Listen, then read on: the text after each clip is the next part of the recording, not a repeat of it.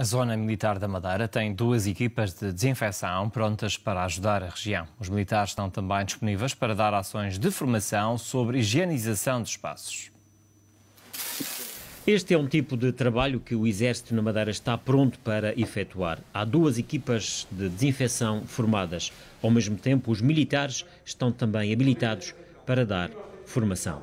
A Zona Militar da Madeira fez a formação a duas equipas de desinfecção que, para além da desinfecção, que é diferente de uma descontaminação, eh, estão aptas também a fazer ações de sensibilização para os assistentes operacionais e para todas as entidades sejam necessários fazer a limpeza diária. Estas ações que vocês estão, estão preparados para fazer, eh, são feitas, serão feitas de que forma? Quem é que pode solicitar o vosso trabalho?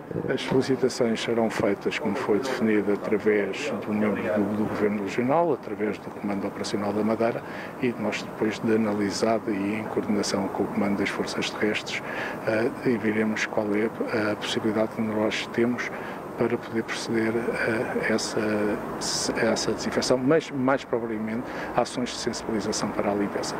A Zona Militar da Madeira está mobilizada para ajudar no combate à pandemia desde a primeira hora. A construção de tendas junto ao hospital e também na cerca sanitária em Lobos são algumas das operações mais visíveis.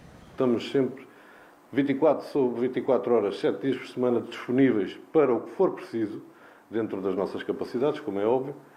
Um, já foi espelhado também nos apoios que demos que essa prontidão e disponibilidade total permitiu reagir mesmo em domingo, num domingo, em duas horas, colocar tendas na cerca sanitária de Câmara de Lobos. Uh, antes do primeiro caso foram colocadas tendas também em apoio do Hospital Nélia Mendonça, portanto, e procuramos uh, sempre estar disponíveis para apoiar a população madeirense no seu todo e do Porto Santo. Todos os dias, no quartel-general da Zona Militar da Madeira, é feito um ponto da situação. Por aqui passam informações das diferentes unidades e também do trabalho que está a ser desenvolvido no terreno. É neste centro que entram todos os pedidos de apoio. É neste centro que depois é, é solicitado o sancionamento da estrutura de comando do Exército. Uma vez sancionada o apoio, nós emanamos as ordens necessárias às unidades que detém os meios mais apropriados para satisfazer esse apoio.